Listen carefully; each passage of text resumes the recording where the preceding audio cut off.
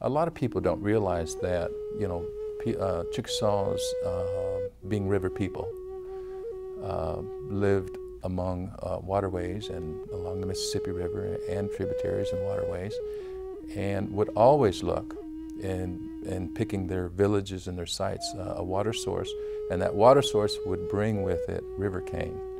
And river cane um, was everything to Chickasaw people. I mean, it was used in the building of their homes, it was used in the mats for their flooring, it was used for furniture, it was used in their basketry, it was used to make flutes, it was used to make blowguns, uh, and it was a necessity item that uh, villages were founded on canebrakes around river edges where there was an abundance of river cane. So, uh, yeah, a lot of folks don't realize that. That's uh, something that was very and continues to be something very important to, to Chickasaw people, river cane.